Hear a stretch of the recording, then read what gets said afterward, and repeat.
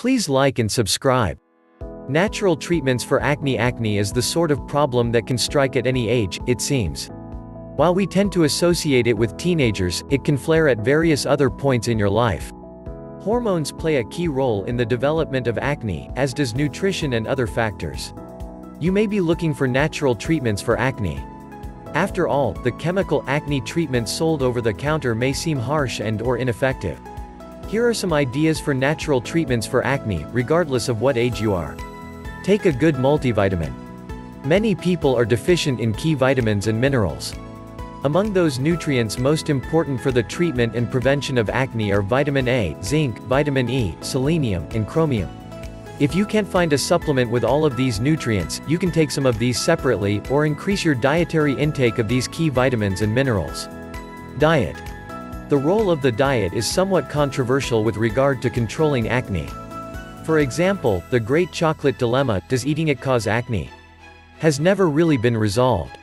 However, given the role that vitamins and minerals play in staving off and healing acne, it makes sense that a healthy diet is important in managing this condition. For example, Asterisk experts recommend cutting back on dairy products, especially milk, as the hormones and trans fatty acids it contains can worsen acne. Asterisk refined sugar is said to exacerbate acne. Sources point to sugar's effect on the body's insulin production, and the connection between effective sugar metabolism and skin health. Studies have shown an improvement in acne when sufferers received insulin injections. Since most of us can't inject ourselves with insulin, nor is this advisable for non-diabetics, it makes better sense to cut out refined sugar and the increased need for insulin that it leads to. Asterisk fresh, whole foods are implicated in the treatment of acne. Processed foods often contain artificial dyes and preservatives, which have been shown to affect hormone levels in the human body. Given the role of hormones in acne, it makes sense to avoid such artificial substances. Natural and or homemade cleansers. Helping your acne heal also means applying treatments to your face. Sulfur-containing soaps and cleansers can help quite a bit, and are available at many natural health stores for less than $10. Here are some homemade options as well. Asterisk mix 2 tablespoons of plain Greek yogurt with 1 teaspoon of raw honey. Apply this to your face as a cleanser or to clean skin and massage gently. Leave it on for as long as possible, up to 15 minutes. Then rinse with warm water. Yogurt and honey both help balance bacterial activity on your skin. Asterisk grind rolled oats in your blender until they are a fine powder. Mix the oatmeal with enough water to make a paste and apply it to the problem areas. Leave on for a bit, then rinse off. Alternatively, you can mix the oatmeal flour with plain yogurt. Antibiotic herbs. The issues of antibiotics and antibiotic-resistant bacteria have gotten a lot of attention lately. The concern is that bacteria, having been exposed to antibiotics for so long, have developed a resistance to the antibiotics, creating superbugs. The grim reality is that bacterial infections that used to succumb easily to antibiotics have turned more serious, even deadly.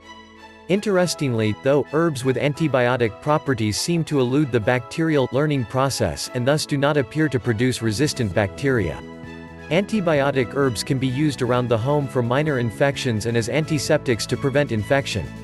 Here are some of the more useful antibiotic herbs. 1. Garlic. This smelly but effective herb is an antibiotic powerhouse. It's also widely available and inexpensive. You can even grow it yourself. How do you use it? Garlic works best when used internally. It can be made into ear drops and used to combat ear infections, simmered in broth or water, it makes a healing broth that works especially well for upper respiratory infections. Garlic can be minced and added to all sorts of foods, from pasta to salad. Many natural health practitioners believe that garlic is most effective when used raw, as juice, minced, or crushed. 2. Echinacea. You've probably heard of this herb, it's all over the place during cold and flu season, and for good reason. Echinacea is a powerful antibiotic and, in the case of colds and flu, antiviral. It also works as an antiseptic on wounds and to treat sore throats. How do you use it? Tea made from echinacea's roots and aerial parts is not particularly tasty, but it can be drunk. Such a tea can also be used as a wash for superficial cuts and scrapes. Echinacea tincture, diluted in warm water, makes a very good sore throat remedy. 3. Golden seal. The golden yellow color of golden seal's roots give it its name, and these roots are the parts that are used medicinally. Golden seal works well topically and internally, however, it is such an effective antibiotic that it can affect intestinal flora, and should not be taken internally for more than a few weeks at a time. How do you use it? Infused in boiling water and then cooled, golden seal has a reputation as a very effective eye wash for infections in and around the eye. Such an infusion also makes a very good wash for cuts and scrapes, and can even be used on surgical wounds, particularly on pets. 4. Ginger. Did you know that ginger can work as an antibiotic? It is reputed to be effective against E. coli and Salmonella, both of which are food-borne bacteria that can cause significant illness in people. It has even been shown to treat and cure ulcers. How do you use it? Ginger can be made into a tea using the fresh root or the dried and ground root. The fresh root is inexpensive, and a decoction can easily be made by gently simmering ginger slices in water and drinking the result, sweetened with raw honey. You can also eat candied ginger to help treat ulcers and fight infection. Antiviral herbs. The virus is a different creature than the bacteria. Some people find viruses scarier because antibiotics have no effect on them. The interesting and good thing is that certain herbs do have antiviral action, and many of these are widely available. Here are some of them. 1. Lemon balm.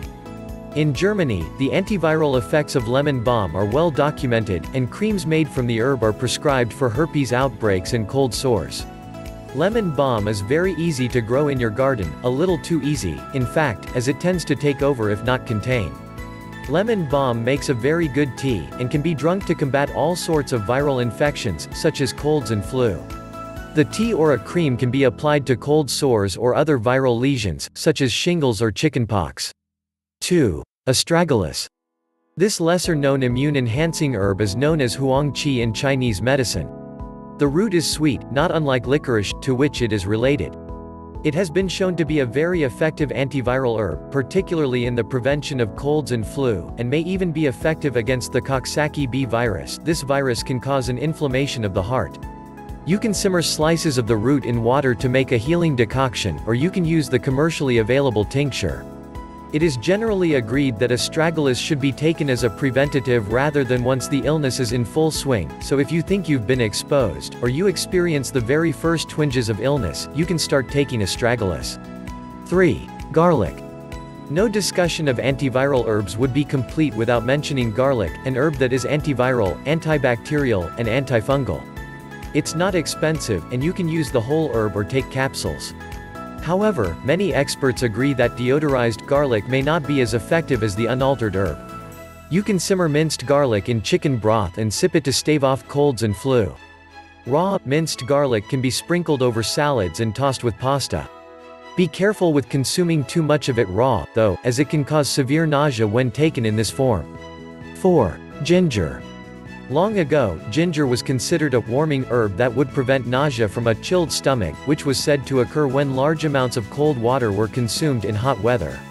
We now know that ginger has powerful anti-nausea action, and it is also antiviral. Teas made from fresh ginger are palatable and spicy. You can sweeten them with raw honey for added germ-fighting benefits and flavor. When you feel the very first stages of a cold or flu, try drinking some of this tea several times a day. You can even drink it as a preventative if you think you may have been exposed to any viruses. Ginger is considered quite safe, although it is not recommended for pregnant women. Herbal options for arthritis. Arthritis comes in various forms, but it's always painful. The typical medical approach is to take some sort of pain medication, usually non-steroidal anti-inflammatory drugs, or NSAIDs, that might result in various side effects, such as stomach pain. Thankfully, there are some natural, herbal approaches to arthritis pain management.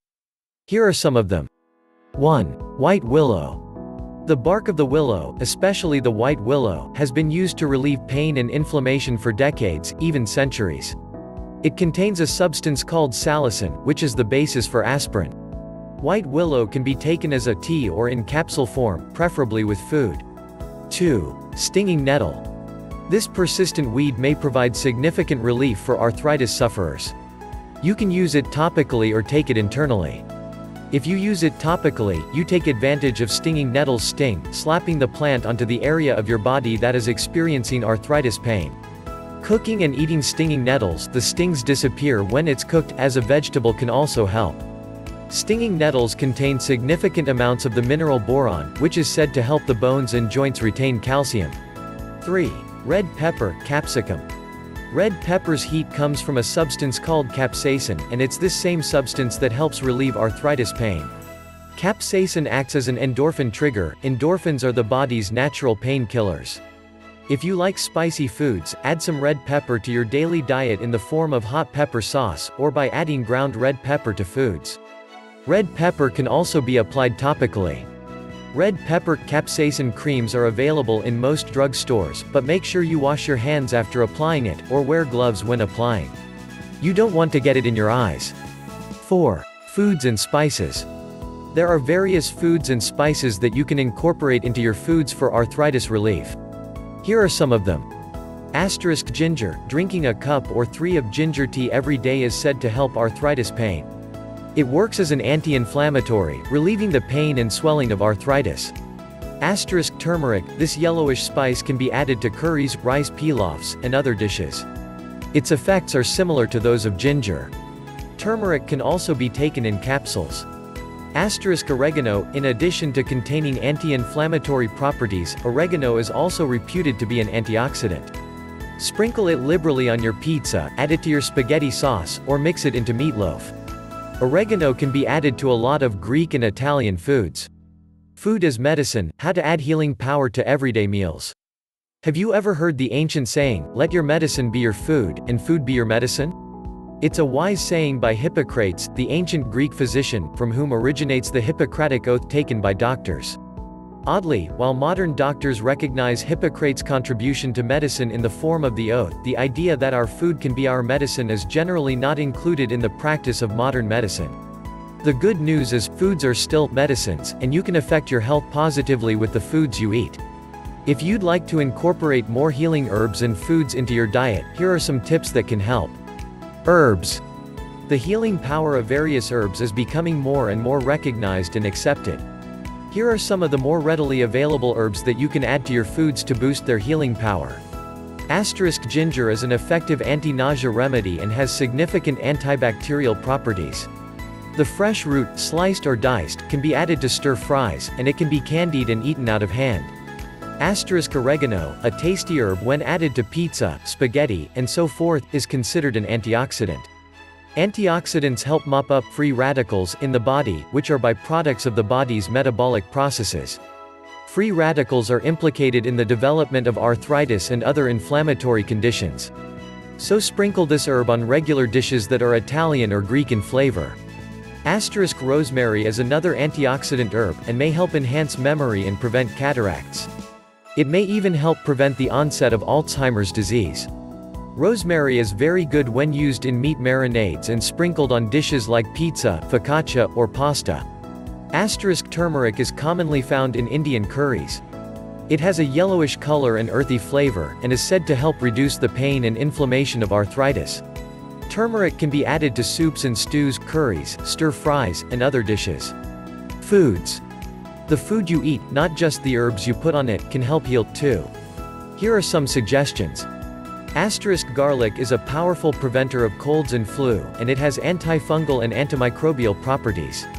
You can make garlic sauce for pasta, add it to soups, and base many meals around this simple food. Asterisk onions are like garlic in their healthful properties. They are perhaps even more versatile, they can be made into a dish on their own or added to other foods. Asterisk berries are known for their antioxidant power. Add berries to salads or eat them out of hand. You can also freeze them and blend them into smoothies. Natural fungus fighters. Fungal infections plague a good number of people, and they are not only uncomfortable, they can be stubborn to clear up, too. The subject of fungal infections in general and yeast infections in particular has gotten a lot of attention lately, and as fungal infections seem less and less responsive to conventional treatment, herbal remedies are being explored. Thankfully, there are some very effective herbs and natural treatments for fungal infections. Here are some of them. 1. Apple cider vinegar. While a bit smelly, apple cider vinegar is a powerful antifungal. For athlete's foot, you can soak your feet in a diluted apple cider vinegar solution several times a day, and or you can paint the affected area with a cotton ball or swab soaked in apple cider vinegar. For internal infections, apple cider vinegar can be consumed several times a day. It's strong stuff, you will probably want to dilute it with water and sweeten it with raw honey or stevia, but avoid sugar sweetening. Sugar is said to worsen yeast infections, since yeast thrive on it. Sources also point out that diluted apple cider vinegar can also be used as a douche to cure vaginal yeast infections. Look for raw, unpasteurized apple cider vinegar, as it has the most active constituents. 2. Garlic. Again with a smelly remedy.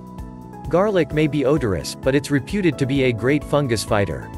Taken internally, garlic can help cure yeast and fungal infections in the body. For vaginal yeast infections, a peeled garlic clove can be inserted into the vagina and left overnight, and the process repeated with a fresh garlic clove every night for about a week, or until symptoms subside.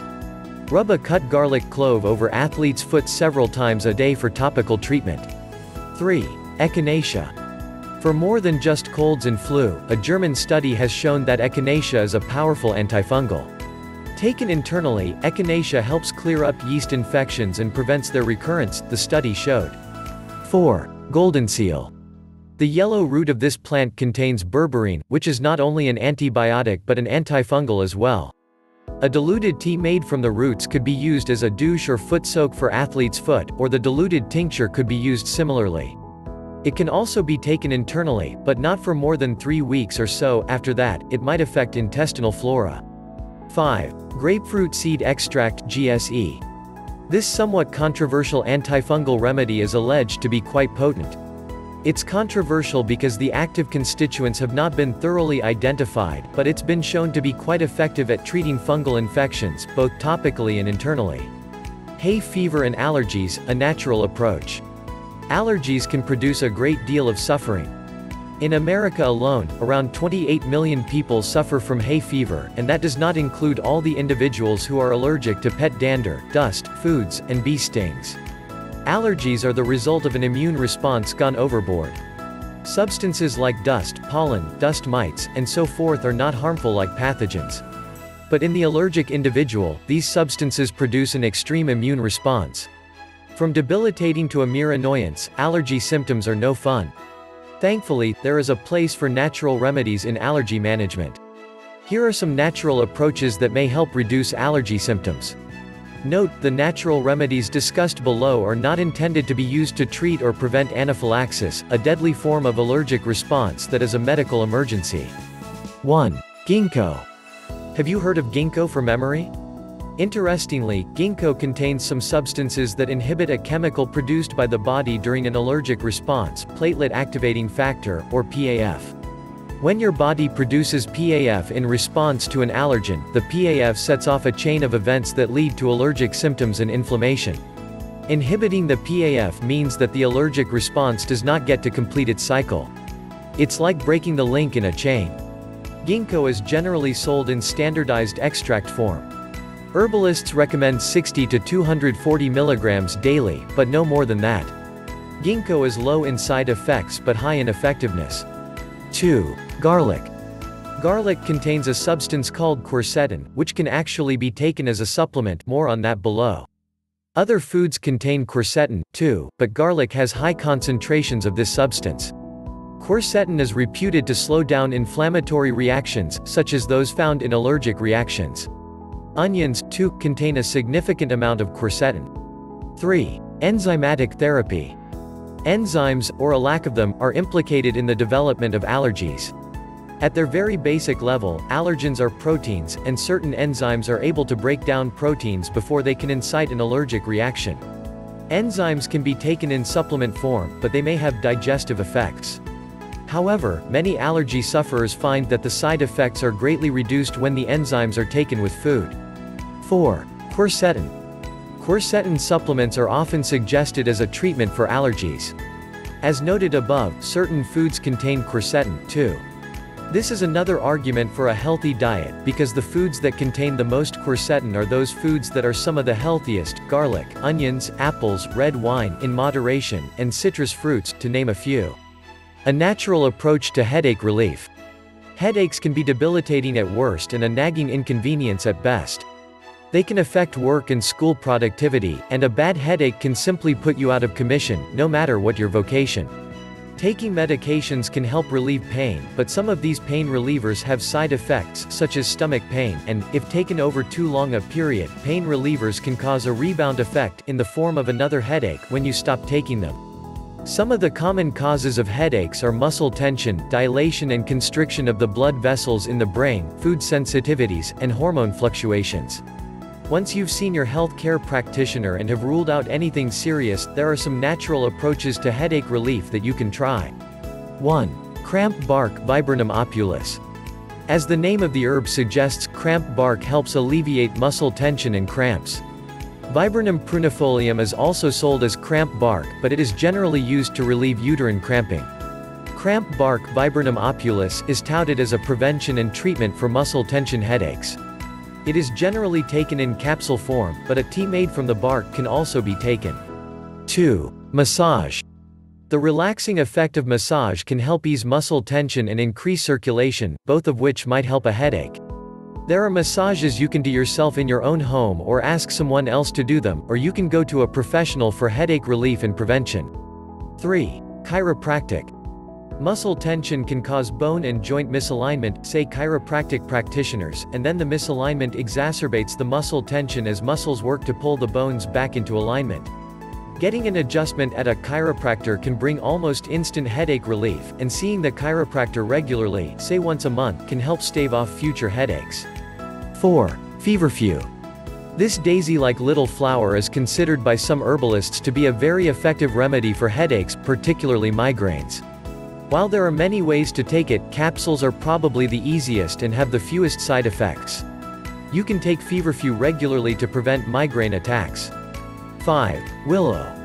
You might have heard of white willow for pain relief, but actually, various willow salix species can help relieve pain. The precursor to aspirin, the inner bark of the white willow can provide pain relief for headaches. It also has an anti-inflammatory effect. White willow, and other willow bark, is usually taken in capsules. 6. Stress management. It's generally understood that stress and headaches are interconnected. Engaging in regular stress relief may help prevent the onset of headaches. Stretching, meditation, yoga, pilates, and other methods can help align the body and reduce stress. Herbs for kids, are they safe? When it comes to giving herbs to our children, many of us are uncertain and concerned. After all, children's bodies are smaller than ours, so how do you know the right dosage? And aren't there all kinds of horror stories about kids having terrible reactions to herbs? Added to these concerns are doctors and pediatricians who often discourage the use of herbs in children. First, to answer the title question, are herbs safe for kids? The short answer is yes. The longer answer is that it depends on the herb and the problem the child is having. Following are some brief guidelines on giving herbs to children. When in doubt, give less. If you are unsure of a dosage, give the smallest possible dose. You can adjust the dosage to fit your child's weight. The adult dose is usually for a 150 pound adult, so a 25 pound child would receive one sixth the dose. However, if you aren't sure, err on the side of less. Remember, less is often more when it comes to herbal remedies. Herbal preparations aimed at kids may or may not be effective. There are controversial studies regarding the effectiveness of herbs in many children's remedies. However, remedies and blends sold specifically for children are generally safe. There are herbs that are generally considered safe for children, and are still quite effective. Here is a list of some of those herbs. Asterisk chamomile, Peter Rabbit's mother was right, chamomile tea does help calm the nerves. As long as your child does not have a ragweed allergy, the chamomile flower is related to ragweed, this soothing tea can be taken at regular strength by young children. You can also brew up some chamomile tea and mix small amounts of it in the child's regular drinks during the day to help calm nerves and anxiety. Many children enjoy chamomile sweetened with a little honey or stevia. Asterisk mints, peppermint and spearmint are safe herbs that are helpful for children. For one thing, peppermint and spearmint taste good and can help flavor other teas that may not taste as good. Mint teas can help soothe digestion and are quite safe for children. Again, honey and stevia make good sweeteners. Asterisk lemon balm, this lemony herb makes a delicious beverage, hot or iced. It is quite safe, but also quite effective, it's antiviral and helps soothe and calm. It promotes sleep as well. This is an herb that can be brewed into a lemon pomade and drunk through the day, or it can be brewed hot and enjoyed with honey. Asterisk fennel, this time honored remedy for colic in babies is considered a safe herb for children. Brewed into a tea, fennel seeds help digestion and soothe the stomach. It has been shown in studies to be as effective as commercial gas relief drops. It tastes a bit like licorice and makes a pleasant tea. The healing power of honey. When you go to the grocery store, you probably see an entire shelf or several shelves dedicated to various types of honey. When we're talking about honey as a healing remedy, though, it's important that raw honey is used. Raw honey has not been sterilized with high heat, and it has not has anything added to it. Raw honey varies quite a bit, too.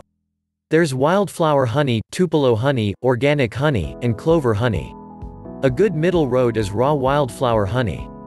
It tends to contain the medicinal qualities of a variety of wildflowers, and when you're trying to kill germs, the more germ-fighting constituents, the better. How is honey used? One of the great things about honey is how good it tastes. Children over one year of age respond well to honey as a treatment. Here are some of honey's healing uses. Asterisk burns Honey has been shown in various studies to be an extremely effective burn treatment. It has various antibacterial compounds that have yet to result in bacterial resistance, and its moist nature helps keep burned skin supple and reduces moisture loss. If you use honey to treat minor burns, simply spread honey over the burn and cover lightly with gauze. Honey does not need to be refrigerated, but it feels good on a burn if it's chilled. Asterisk coughs and colds, studies have shown that regularly eating raw honey helps prevent colds. It also helps soothe coughs and sore throats. Its viscous texture coats the throat, and has a cough-suppressing effect. Its antibacterial properties help fight throat infections and upper respiratory infections.